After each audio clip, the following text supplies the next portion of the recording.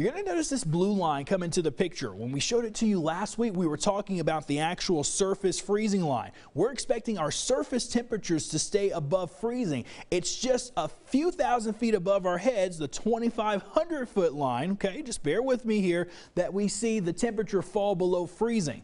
As that moves into the area, that's going to allow some of the rain droplets to begin to mix with some snowflakes. Notice by 9 a.m. that 2,500 foot freezing line is right near the central areas, and that's why we see the changeover occur to maybe some snowflakes mixed in with the rain. Now, again, I mentioned the surface temperatures are going to remain above freezing. The road temperatures well above freezing. Yes, they'll be colder tomorrow, but we're not expecting impacts out of this system. There's 2 o'clock. Notice how the precipitation still may have a snowflake or two mixed in.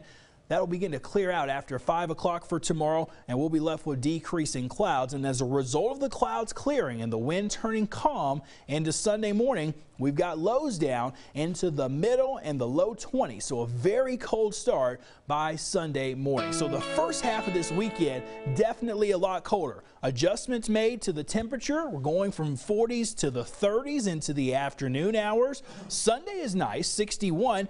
Then we warm up again next week near 70 Monday and Tuesday.